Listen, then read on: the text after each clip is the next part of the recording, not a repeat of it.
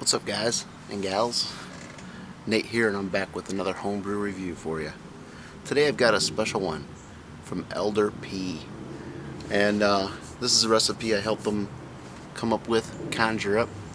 Told me what he had in, in store and um, in stocks and I said okay let's throw something together. So this is, we, we dubbed it, I think I came up with the name any kind of IPA will do and it's uh, Maris Otter, some two row, a little Pilsner, flaked oats, uh, some Crystal 40, and some CaraMunich. And then uh, the hops are uh, Comet, Chinook, some Super Alpha, Dr. Rudi, and um, Pacific Jade, and Jarrylo. So it's got it's got a gaggle of hops in it, and then uh, fermented with English ale yeast. I think this is the one. I think this used yeah this is uh, WLP002. So.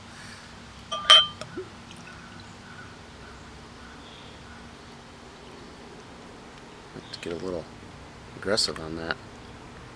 Alright. Well,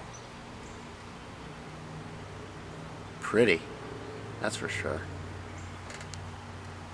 Not a whole lot of head on it, and I'm not sure how his uh, bottle technique is performed, this bottling technique, what he's using for bottling off the keg. I think it's a bottling wand on a picnic tap kind of thing, kind of like Laramie. Let's get an aroma. Oh yeah, that smells like a, smells like a juicy IPA to me. Nice. A little bit of malt coming into the back background there. Uh, let's see, when did he brew this? I think he brewed this early August, late July. So it's got a little bit of age on it. So, um, ABV, boy, I don't remember what he got on that for ABV. The target grab, the target ABV was something like six and a half percent. So my guess is that he got a little bit better efficiency and ended up more like 7. So cheers. Let's get into it.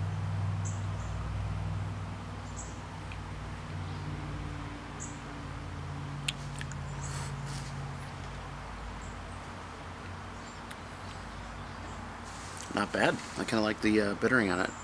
It follows it up with a bunch of juice, juicy, juicy fruits like um, like almost like strawberry and um, mango a little bit.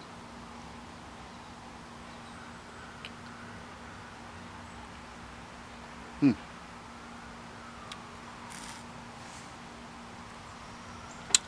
Malts are coming in.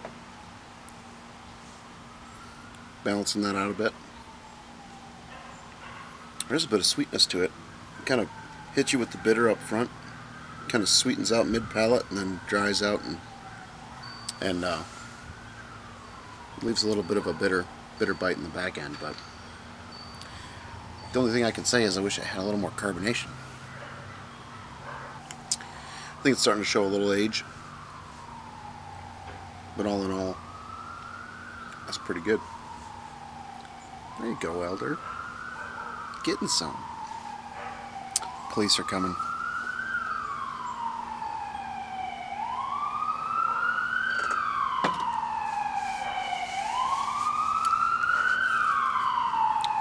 if they're coming here. that could be an ambulance.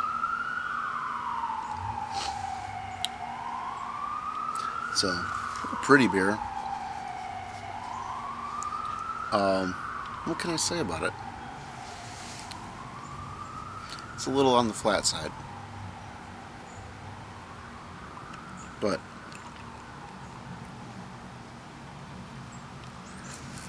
There's also a um, kind of a spicy, peppery component in there.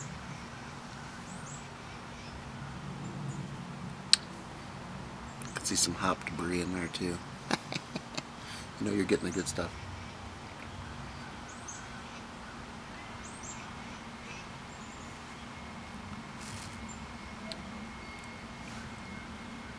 There's a lot of character in this thing. Uh, it's got a it's got the fruity components, and then it's got that spicy, kind of peppery component, but not like a, a Belgian or a saison peppery. But just like a touch of black pepper. It's kind of interesting. That's really all I can say. So I'm going to cut loose. Enjoy the rest of this. It's a beautiful day here. Probably mid 70s. Just gorgeous. So I'll see you guys on the next one. Thanks Elder P for sending this my way. There is some carbonation. And uh, I'll reciprocate. I got a package in the works for you. So cheers. Homebrew up.